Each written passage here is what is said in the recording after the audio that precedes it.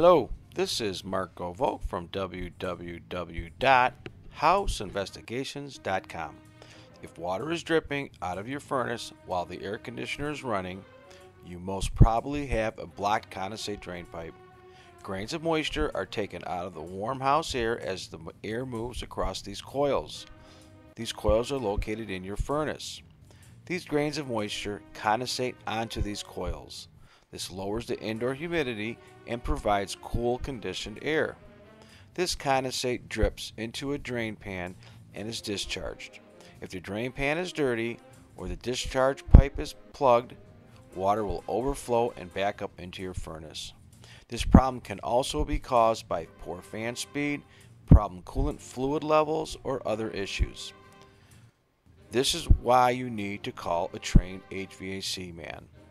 This dripping water can short out your HVAC circuit board, it can rust your heat exchanger, and can create rust in your heat exchanger burner orifices.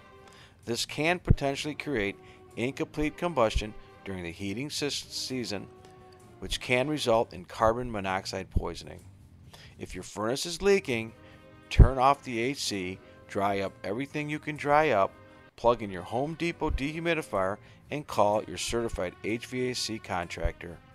Additionally, make sure the company you call is also combustion CO carbon monoxide certified so they can perform a combustion analysis test on your heating system so it will not cause carbon monoxide poisoning.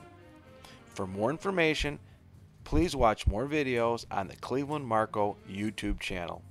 Please subscribe to this channel.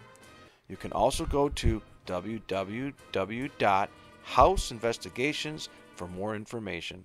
Thank you for watching.